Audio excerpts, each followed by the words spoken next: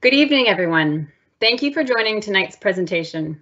Before we get into this session on water protection, I wanted to take a moment to acknowledge the traditional territory that we are hosting this virtual session on. I am broadcasting from the traditional territory of many nations, including the Mississaugas of the Credit, the Anishinaabeg, the Chippewa, the Haudenosaunee, and the Wendat peoples. It is now home to many diverse First Nations, Inuit, and Métis people. I would like you all to consider the traditional territory that you are watching this session from. Next slide, please.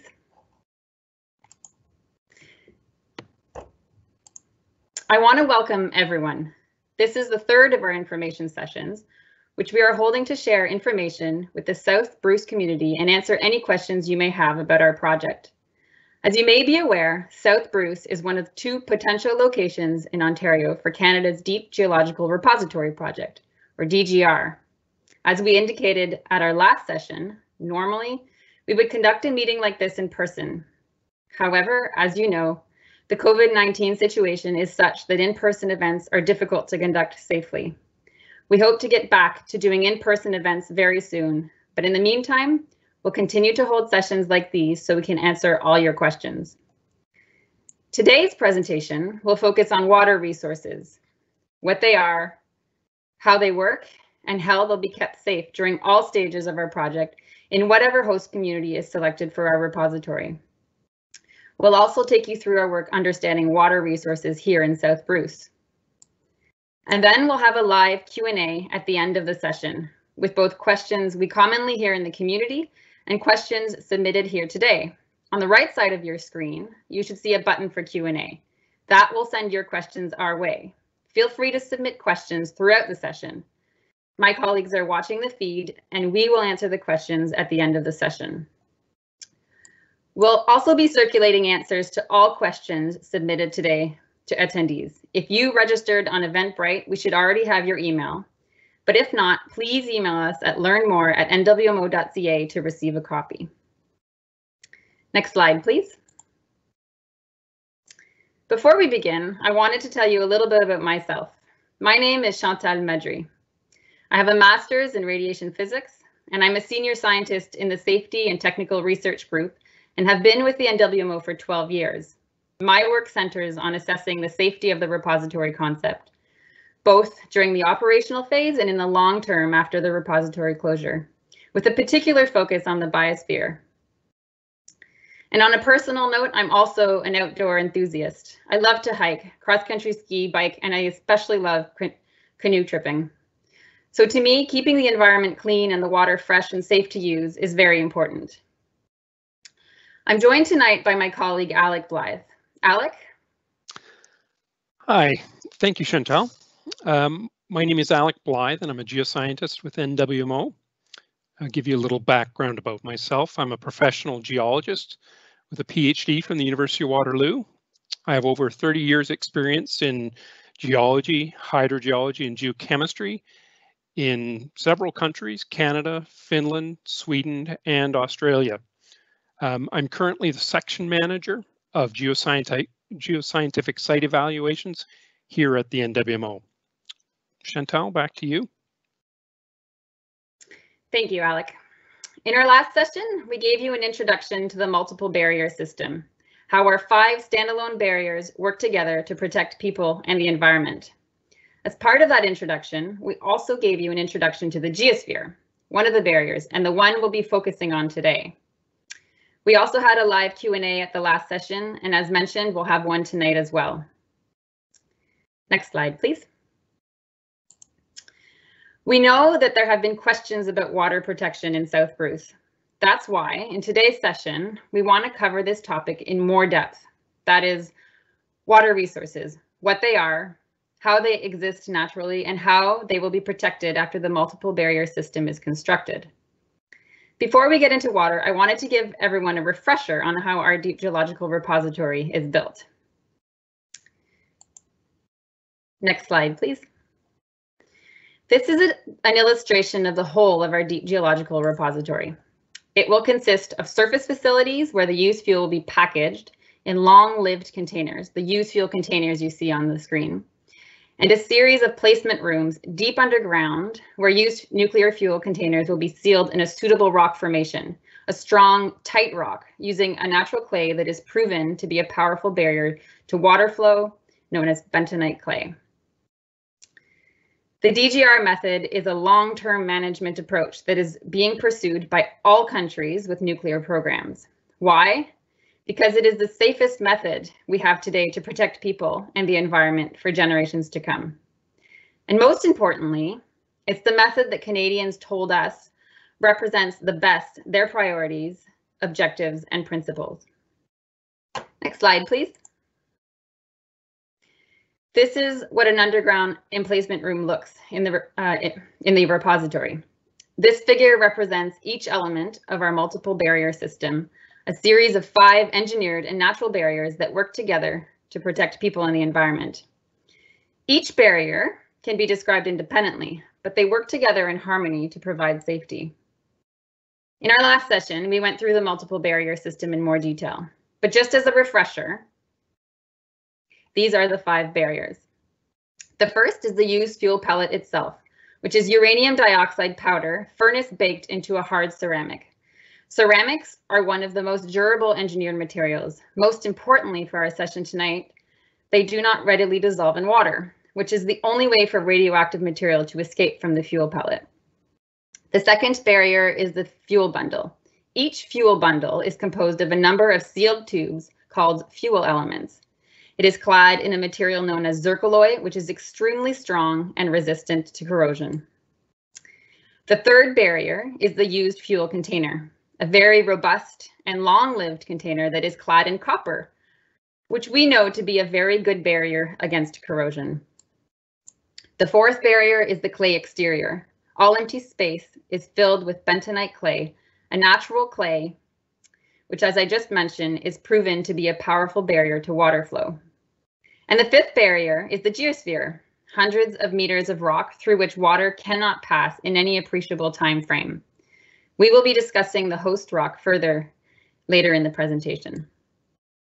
That's our multiple barrier system, five layers working together. If any single layer should fail, the others are there to provide backup. And all of them are extremely resistant to water. Uh, next slide, please.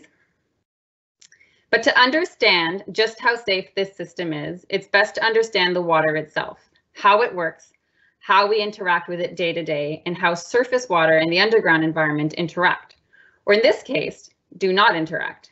My colleague Alec will take you through a few further details. Alec? Thanks, Chantal. So this is where it starts. This is a water cycle. You probably all remember this from elementary school. It's probably been a while, so let's uh, let's do a little refresher on this. So water evaporates from the lakes and streams and it evapo uh, transpires from plants, condenses into clouds, and then rain, uh, falls back as, as rain uh, and snow, so it's precipitation to the ground. Most of the precipitation hits the ground and, uh, and runs over the ground back into those streams and lakes a very small portion, usually somewhere around 2 to 5%, actually soaks into the ground. And this is what we call infiltration. And then it moves through and flows through the ground. The length of this cycle can vary, and we call this the residence time of the water. What it really is, though, is, is, is the age of the water. So the more complex the path that this water is taking, the longer it takes to complete the cycle. This figure emphasizes the above uh, ground portion, but let's let's have a look at uh, what's below the ground. Next slide, please. So this is a deep geological repository in context. As you can see, it's built well, uh, the repository is built well below the ground surface. This is the geosphere, the host rock in which our repository will be built. There are hundreds of meters of, uh, of this host rock between the repository uh, and the water that you and I drink or the local aquifers that you see up on the surface. Should South Bruce be selected as a site for a repository, it'll be about 800 meters uh, below the ground surface, the repository. That's about three times deeper than the deepest portion of Lake Huron. It is very, very difficult for water to move through all through all this rock. Let me give you an example to demonstrate how difficult it is. The surface water and groundwater, again, this is the water near the top of that figure that you see in green in the upper brown. Um, and, sorry, uh, the surface water that we see, that's the green that you see up there, uh, is water that you and I interact with every day. This is maybe only a few years old if we were to age date that water, maybe a few tens of years old. As you move down deeper in the bedrock, it becomes more and more scarce to find water. And at depth, there's virtually no flowing water. There's so little water, in fact, that we must literally squeeze the rock to get that water out to do analysis on it. That tiny trace amount of water is very, very old.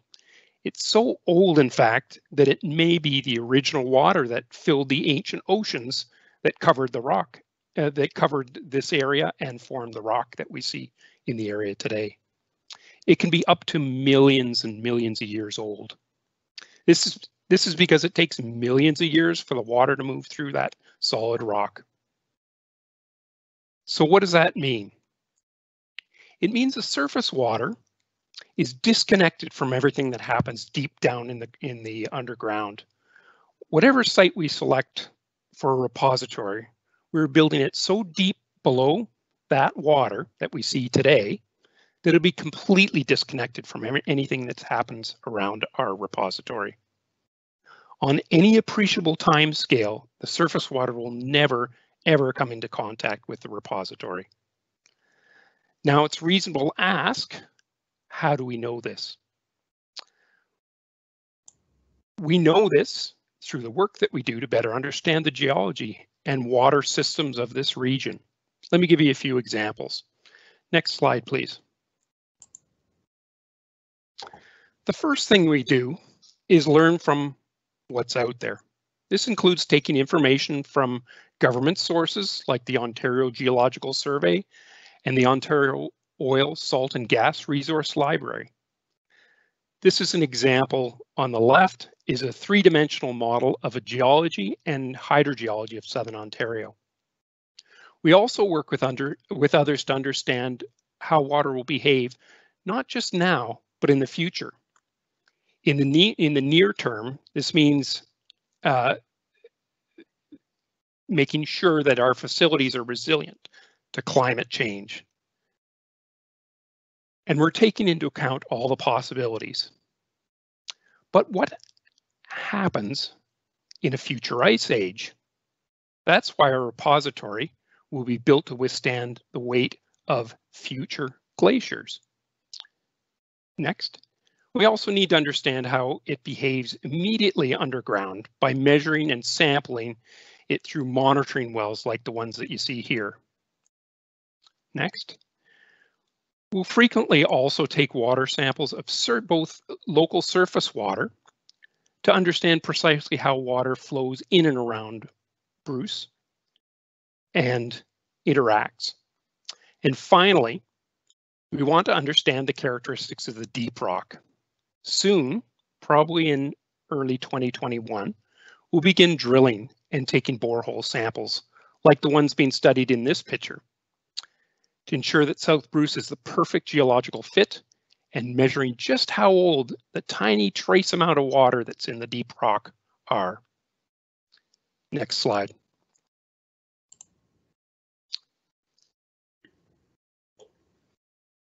Okay, so all this knowledge is valuable in and in itself, but we also have to put it for work protecting South Bruce water resources right now. So first and foremost, safety is built into who we are. We always begin meetings and field work with safety moments. And that means wherever we do our, uh, we are on site, we follow strict health and safety and environmental procedures.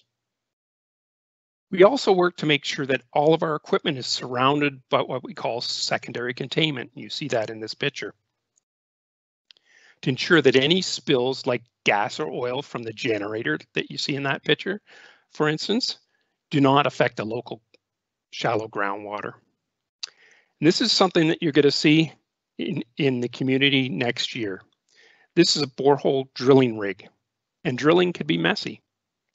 We take borehole samples to understand the deep rock and its permeability or the ability to water that uh, for water to move through it or in that in some cases not be able to move through it. We work very hard to ensure that the effects of borehole drilling are contained through managing of fluids used to drill the, to run the drill, installing steel casings to protect water, and sampling local water wells before the drilling to show that there's no contamination. Back to you, Chantal.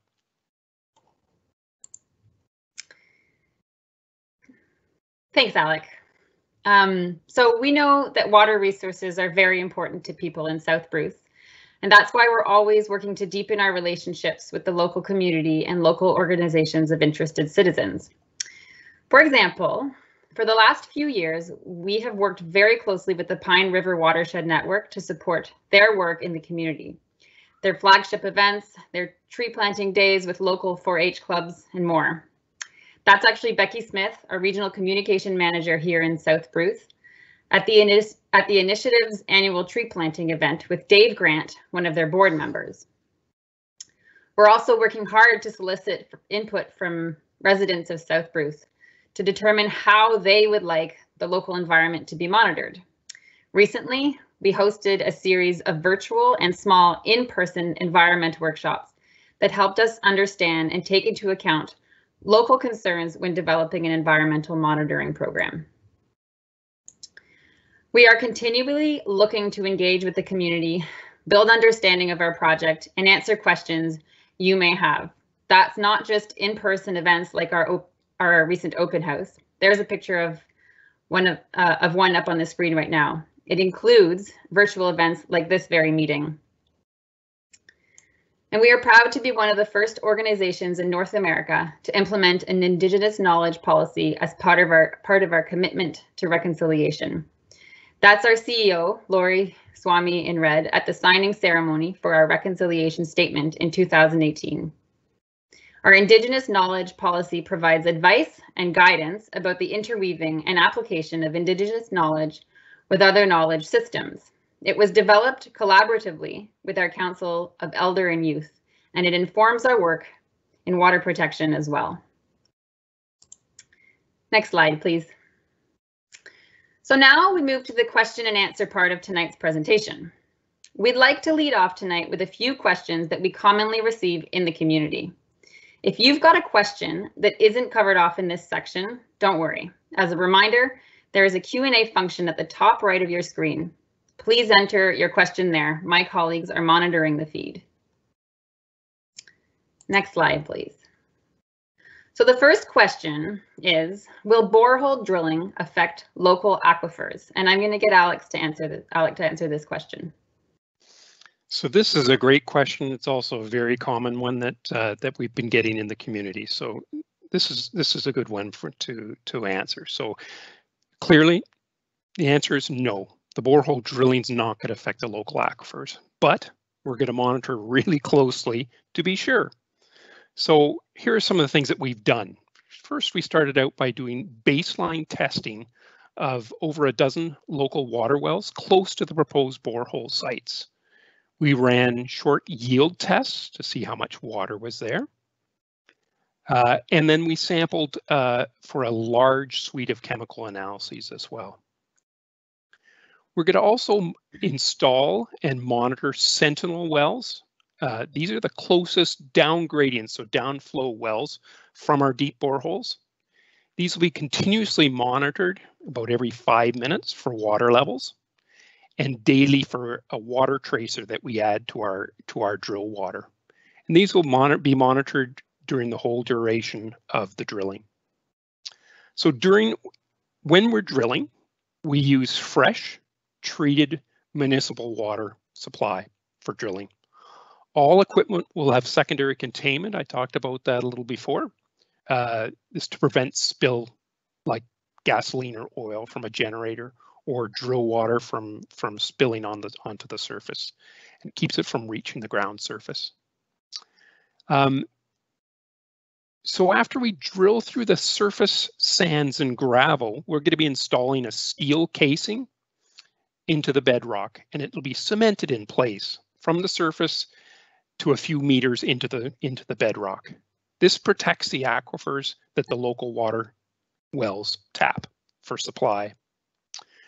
We'll then continue to drill with fresh water down to about 200 meters and we'll set another casing another cement casing, uh, another steel casing and cement it in place. And that will be cemented from, uh, from surface down to 200 meters. The borehole will then be advanced to about 900 meters, again using a municipal water supply.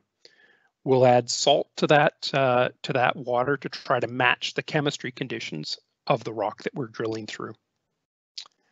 After the borehole is all drilled and completed and tested, we'll be installing a monitoring system in that well, in those wells.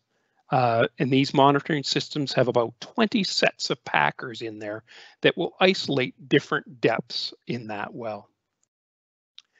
In addition, we've we've are planning long-term uh, monitoring of local water wells uh, and surface water bodies. And this is part of the NWO Environments Group plan for understanding and protecting uh, water surface and shallow groundwater.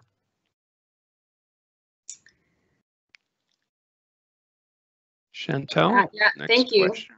You're the next slide. Um, okay, will tailings from the rock pile have an impact on our local water supply? supply? So the rock pile will be made up of excavated rock from the repository and will be managed in such a way that it will not have an impact on our local water supplies. It'll be managed in the excavated rock management area, which will also include a stormwater management pond to collect and monitor runoff from the excavated rock pile. This pond will be dedicated to the excavation rock management area, and its design will be based on local precipitation and soil conditions, as well as potential effects of climate change. The pond will be lined as required over its base and embankments for protection and to prevent water infiltration back into the ground. Any mining water containing salinity will be directed to a dewatering settling pond. This water will be managed, monitored, and if necessary, treated before being discharged. Water quality will be analyzed for compliance with applicable limits before the pond water is released. I have the next question, please? Back to you, Alec. So this is a good question as well. It's one that's uh, has been heard in the uh, in the community. Is rolling stewardship a good alternative option? No, rolling rolling stewardship is not a good solution for nuclear waste. Rolling stewardship uh, comprises hardened surface facilities and constant management of the used fuel for an indeterminate uh, amount of time. This really just kicks the problem down the road to a future generation, something that Canadians told us was not fair. We're enjoying the benefits of nuclear generator generated electricity now, so we should be the ones that are dealing with the waste problem not our children or our grandchildren, etc. Uh, rolling stewardship relies on some possible future solution when actually one exists today, and that's a DGR. So as a geologist, I always like to think on the lo in long time frames, and we we all do. So who's going to be around after 200 years to look after this waste? Who's going to be around after a thousand years with rolling stewardship? The biggest perturbation that we have, we're going to experience in southern Ontario will be the next glaciation. It's coming. It's expected in about 60,000 years. How do you think a hardened surface facility will stand up to a two kilometer thick wall of ice coming our way? The answer is not well. A DGR is designed to withstand the load from multiple glaciation events without damage to the repository. Chantal, next question. Thank you.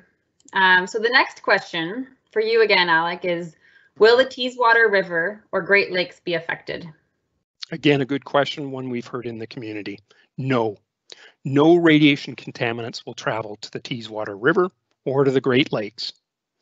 Each component, we've talked about that earlier briefly tonight and in the last seminar, uh, that each component of the multi-barrier system is designed to isolate that used fuel from contacting water and ever moving. The final and best barrier that we talked about, barrier number five, is the geosphere, and that's the rock.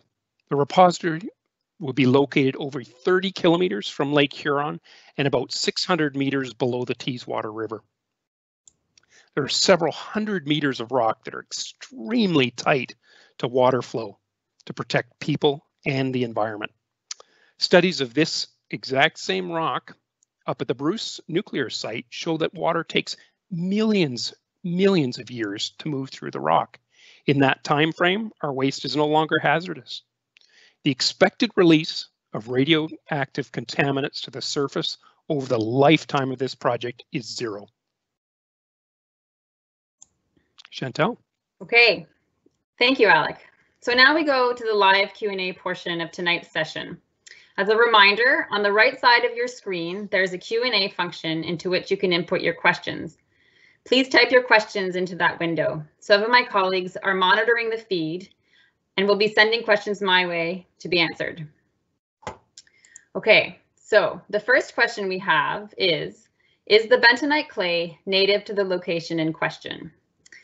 Um, so Alec, I'll, I'll, I'll get started on it, and if you want to add to it, feel free. Um, so, so no, the, the bentonite clay is not native to um, either site. Um, and a lot of it comes from my, Wyoming.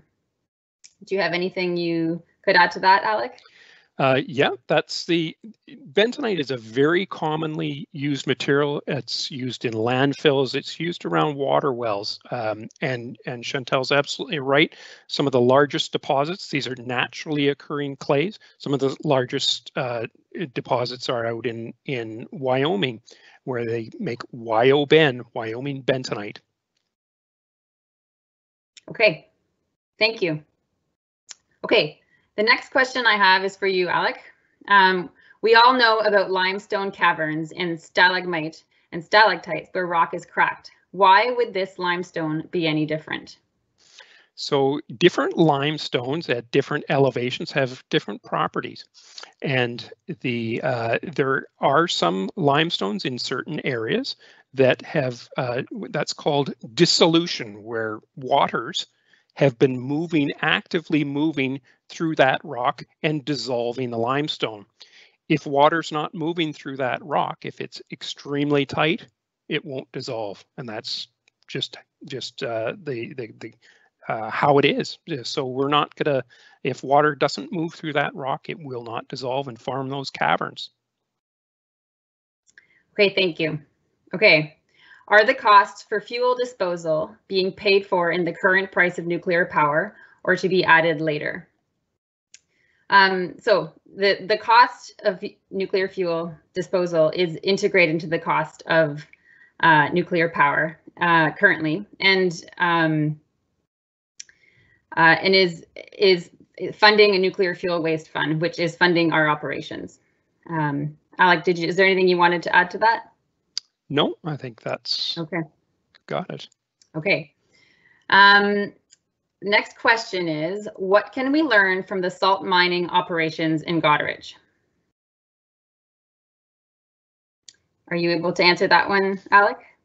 Uh, salt mining in Goderich, so I would say that's a, a slightly different uh, geological environment. Uh, it's uh, it's evaporite uh, deposits that that form that salt. Salt is actually also a very good tight rock as well. So um, we learn about the geology from the Goderich area. Uh, those same salt deposits don't extend up into our uh, area of South Bruce. Thank you. Okay, um, the next question I think is also for you, Alec. Will the rock drilling only provide rock samples or will there also be rock porosity measurements at the lower levels? So there is a very large program of, of uh, sampling uh, planned for uh, for our, all our boreholes in South Bruce. Uh, they they contain uh, they uh, comprise a huge number of of analyses, including porosity. We also look at the we'll also be analyzing Uh, the strength of the rock. We also will be one of the key things that uh, we'll be uh, analyzing is the the trace amount of water that's in the pores of the rock and we'll be analyzing that water trying to figure out its age so that's one of the key things but uh, and we'll be doing that over the complete uh, uh, borehole right from right from the uh, shallow bedrock right down to the uh, to the uh, bottom of the hole at about 900 meters thank you um, the next question is it possible that heat from the spent fuel can somehow damage or crack the rock surrounding the repository? Um, why don't you start with this one, Alex?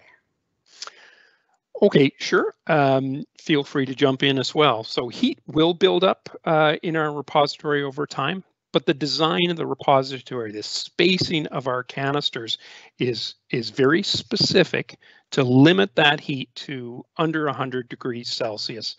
And part of the function of the geosphere is to dissipate that heat. And uh, so the, the canisters will be in place such that that heat is, is dissipated and it won't do damage either to our uh, either to our uh, sealing materials or the bedrock at that at that depth. Do you have anything to add to that, yeah, I can, I can, add to that. Um, I can I can add or emphasize that there will also be an upper limit on the allowable uh, heat load of used fuel containers. So the spacing of the containers in the repository will be designed with consideration of this heat load limit. Um, so when containers are being filled in the surface facilities, the used fuels um, being placed in the containers will be carefully tracked to ensure we don't exceed the heat load limits. Um, then measurements of the heat emanating from each container will be uh, made as a redundancy. This way, we're not sending a container to the repository that will heat the host rock beyond the repository's design. And all of this ensures the, that the integrity of the host rock is maintained and that we can trust that the multiple barrier system uh, will behave as expected, um, safely isolating the used fuel from the surface environment. Um, okay, I think um, this, I think it looks like maybe we're getting to the last question here. Um, how can you guarantee that food grown on top of the repository or the, the nuke dump will be safe for people to eat? Um, and, and I can take that question. Um, so as we discussed today, the local water sources will be unaffected by the repository because the repository is specifically designed to isolate the waste from the water supply. And we have confidence in this because of the redundancies that are provided by the multiple barrier system. Agricultural products that are grown on top of the repository um, after closure would be unaffected by the repository uh, because the irrigation water, which is sourced um, from wells or surface water, is protected. It's also important to know that today there are farms that operate successfully in locations adjacent to existing Ontario nuclear facilities. We know through regular testing of their produce and of the water sources for those farms that there are no impact, that there's no impact from radiation. Oh, it looks like we have time for one more question. We're in luck. Um, so what are the advantages of Teeswater over Ignace as a location? And what are the advantages of Ignace over Teeswater? Alex, I'm I, am going to pass this one over to you. So I, I will I will keep my observations to uh, to a geologist's observations.